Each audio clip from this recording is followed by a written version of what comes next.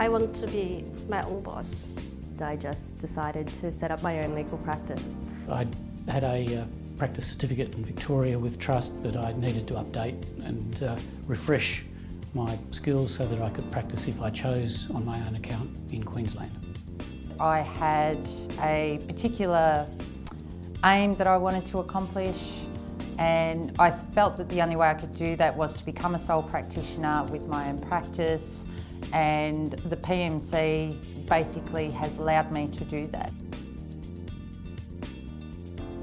The QLS course is really very comprehensive. Um, it covers the core skills for lawyers, but it also covers a, a range of business management skills for uh, lawyers who've probably not had that sort of experience in starting up business and running business.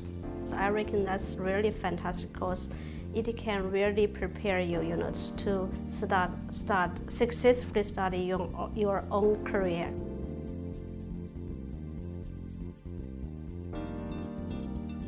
Within the PMC course, we run a, a, a trust accounting session, and during that session, candidates get the opportunity to meet someone from the Law Society, from the trust accounting section, so that they feel more comfortable to come and approach us in the future should they require any help or assistance. During that session, we also have a look at practical aspects that uh, everyday law practices encounter in relation to their trust account. We also go through tips on how to maintain your trust account and more importantly what to look out for.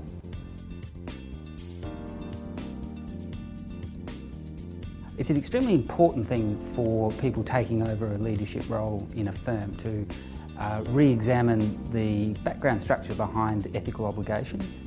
As you move up in the firm, it's going to become important for you to understand a lot more of the background, a lot more of the theory, because you're going to have to set up structures which will enable the firm, which you will now be responsible for, to run itself effectively without you having to watch every single person all the time.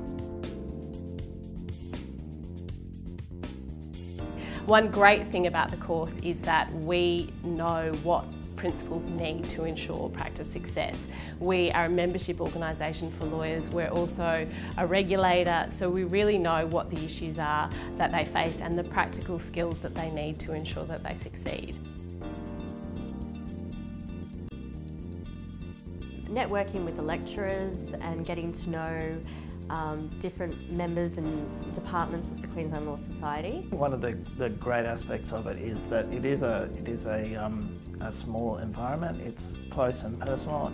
I liked the interaction, I found the speakers lively and engaging. Uh, I liked interacting with peers, uh, finding people from different practice areas and different skills that they had, um, which effectively allows you to grow.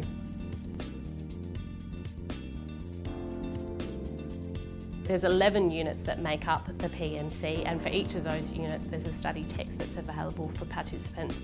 We also have three days of interactive workshops where um, we really build on those learning materials so that participants can workshop with their peers and also with the experts in the room.